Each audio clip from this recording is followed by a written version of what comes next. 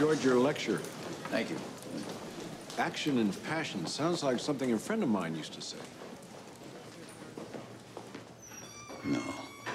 No, no, no, no. Need to talk to you, Big J. Go to hell.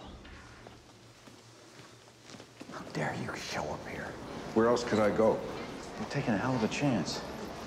Not by choice. They're probably watching me, unlike you. They know who I am. How's that working out, though? You. I have a life.